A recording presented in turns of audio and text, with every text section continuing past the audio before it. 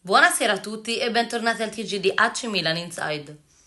Pavlovic è ufficialmente arrivato a casa Milan per firmare il suo contratto che lo legherà al Milan per i prossimi 5 anni e ha scelto il numero di maglia 31.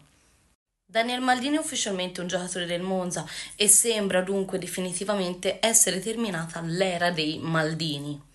Voi che cosa ne pensate di questa scelta della società? Siete d'accordo? Il Milan sembra propenso a prendere come terzo attaccante Abraham della Roma.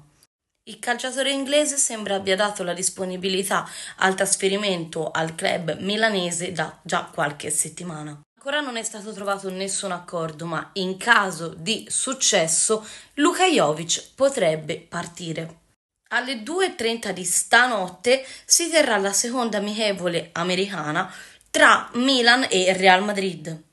Sarà trasmessa in diretta televisiva e anche su DAZN. Dopo l'infortunio di Marco Sportiello alla mano, il Milan sembra alla ricerca di un nuovo secondo portiere e il nome più gettonato è Scuffet del Cagliari. Per il giocatore si starebbe pensando a un prestito con diritto di riscatto a 3 milioni.